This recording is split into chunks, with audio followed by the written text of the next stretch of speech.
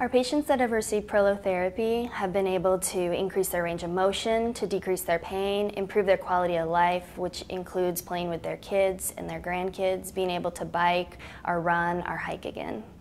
Hi, I'm Dr. Squires and I work at the Center for Healing Neurology. I'm a naturopathic doctor and a licensed acupuncturist.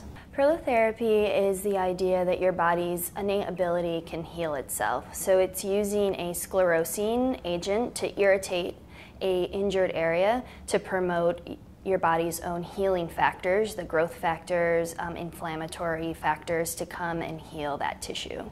Prolotherapy can be used for people with chronic joint pain, if they have ligaments, tendons, minor tears, um, instability. Those are the types of people that should be thinking of prolotherapy. When you come in for prolotherapy, you should expect to get injected with a syringe filled with a sclerosing agent to recreate the inflammatory response in your body. And then the whole inflammatory cascade is about four to six weeks. Usually you need about three treatments of prolotherapy before you can ensure long-term relief.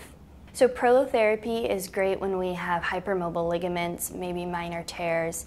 The next level of regenerative medicine is platelet-rich plasma therapy, which takes a concentrated dose from your own body and injects it into the area of injury. And that's great when we have more severe tears or when we have mild osteoarthritis.